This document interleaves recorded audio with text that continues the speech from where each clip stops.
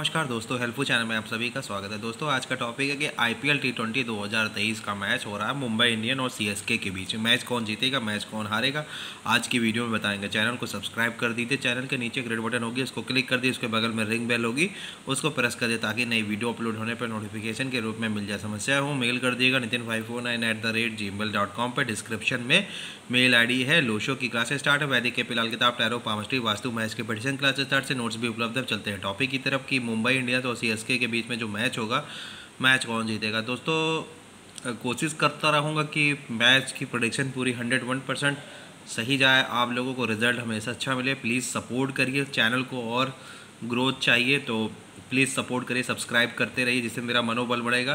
धीरे, जितना आप सब्सक्राइब करेंगे तो मेरे हिसाब से मैं अच्छी वीडियो और बनाता रहूँगा और सारे लीग्स के भी मैच बीट की प्रडिक्शन डालूँगा। खैर, ये छोड़ी बात है।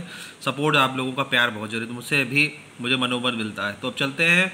मुंबई और सीएसके के बीच में जो मैच हो रहा है टॉस सीएसके और मैच भी सीएसके जाएगा और स्कोर बनेगा एक सौ पैंसठ से एक धन्यवाद दोस्तों, एल्बो चैनल को देखने